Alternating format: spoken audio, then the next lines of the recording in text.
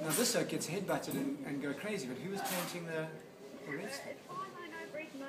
I, I haven't been in touch with him. The director of Liza Essers has been in touch with him. Um, as far as I know, as it stands, he has, he has been notified.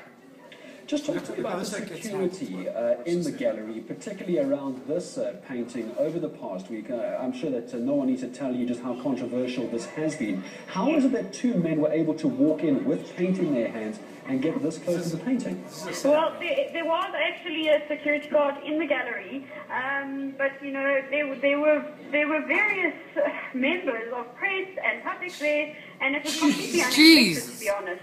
We weren't prepared for it to happen at Nice. this It's a scale. pantomime, with the And- painting and, swinging you know, there. to this extent. Excuse me for coughing. I just wanted to clear my throat quickly. Nikki, uh, uh, the court case, as we know, is now going to be heard by a uh, full uh, uh, panel on uh, Thursday, this coming Thursday.